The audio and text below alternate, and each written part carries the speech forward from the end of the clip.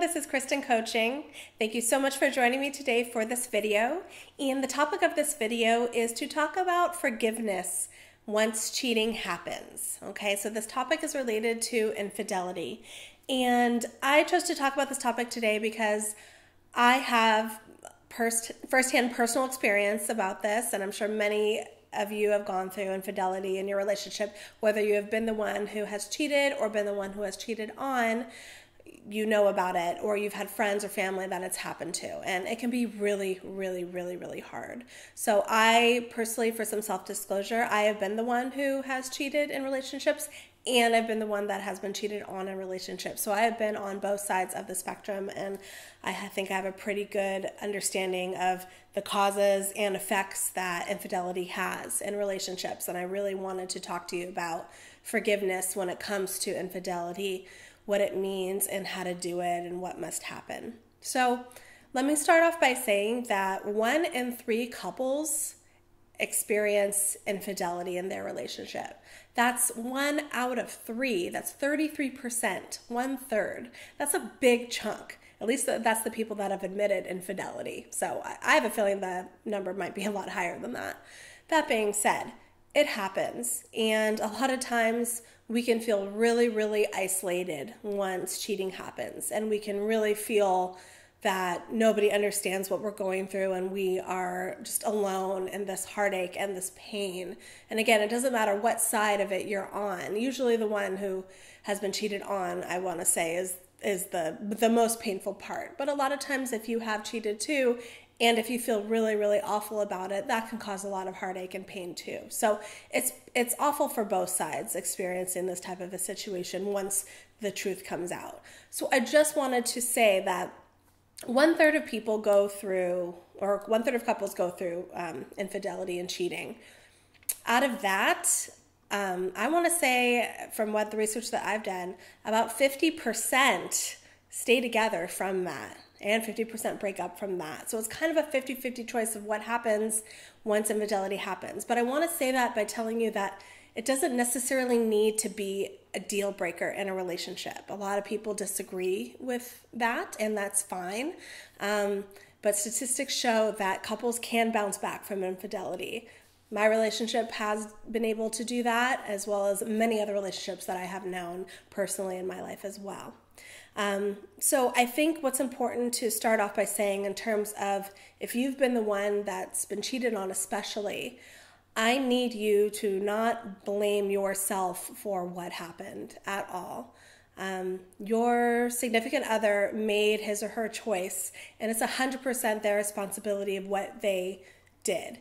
Now, sometimes you can feel like, oh, you know, I should have done this more, and or should have done this better, and my and my partner wouldn't have strayed you know, at the end of the day, your partner is an adult and able to make his or her own decisions, and nobody forced your significant other to go ahead and find somebody else to have companionship with.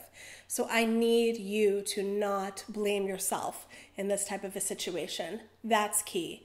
And I also need you to not lower your self esteem and feel that you are not worthy and not worth it and you're a bad partner, okay? Because that's also a misconception that some people have, and that is not true. So I need you to know that. I really need you to know that. It's not your fault, and you are worth it. You're worth more than what has happened to you and being cheated on, okay?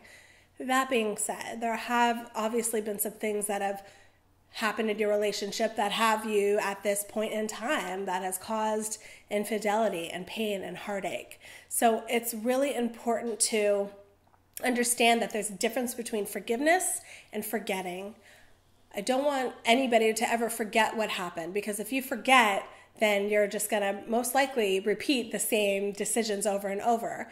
Usually has to do with infidelity. You're going to keep doing that over and over. So you can't forget the past, but you can forgive. And what is forgiveness exactly? Well, forgiveness is your guys' ability to basically move forward from right here, right now, and decide if you want to make it work or not and mostly forgiveness has to do with if you want to make it work. Um, do you want to make this work? Do you want to have a fresh start and a reset button? And that's what forgiveness is. It's about your ability to to see what's happened, take all that pain and heartache and work through it and and move forward from there. You know, that's true forgiveness and not holding um, past decisions in terms of bringing that back into your relationship in a negative way. So, for example, you know, if you move forward, you can't always, when you're in a fight with your significant other, you can't be like, get mad at that person be like, well, you cheated on me, you know, years ago, and, and bring that into the present moment. You know, that's not per se forgiveness. It's, it's there and you can always talk about it in terms of, um, you know, just how you've gotten from there to here now and things like that, but you can't use it against your significant other moving forward. So that's a big piece in terms of, you know, what forgiveness really means. And in order to move forward, um, whether you are the cheater or the one who has been cheated on, it is really important that the one who has cheated needs to show regret and remorse. So, in order to figure out if you're going to uh, continue to have a relationship once infidelity has happened, the person who has cheated needs to show regret and remorse. And then the third thing that you must have is restitution. Doing what you can for however long as you need to to to have your partner understand that you are going to help make this relationship strong again, that you're going to do whatever you need to do for your partner to feel secure with you again and trust you again and and work on things again. And I've talked about other videos about the benefits of couples counseling, which I'd love for you to watch because I think that will be a good kind of segue into um, how some couples can learn to repair um, situations, especially when it comes to cheating and straying.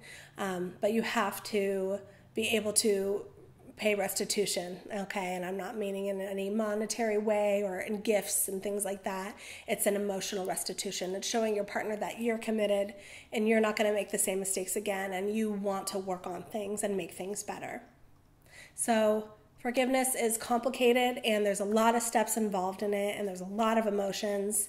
Um, but it's important to kind of wrap your brain around what happened and figure out if you guys are able to uh, move forward and move past what's happening. And I think really figuring out why it happened in the first place is 100% key into figuring out if you're going to be able to move forward and continue to have a happy, uh, long lasting relationship after that.